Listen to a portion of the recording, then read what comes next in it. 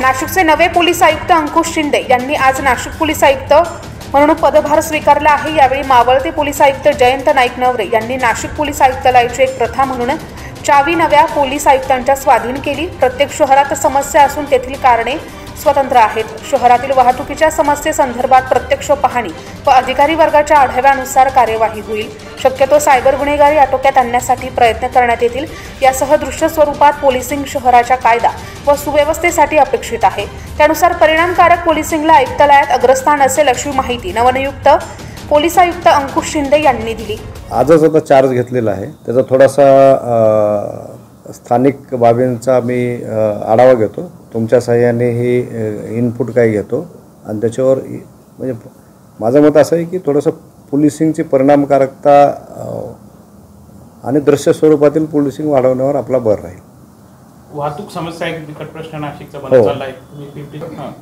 थोडीशी तिथं container traffic असल्यामुळं तिथं ट्रॅफिकची समस्या चाकण भागामध्ये बरेचसे जाणवायचे. तसं इथंही जे काही आहे ते माझं मत असं आहे की जे काही आहे ते माझ्या अधिकाऱ्यांच्या बरोबर अभ्यास करून किंवा त्यांच्याकडून माहिती घेऊन त्याच्यावर निश्चित उपाययोजना आपण करूया. म्हणजे प्रत्येक शहरामध्येच काही ना काही समस्या आहेत.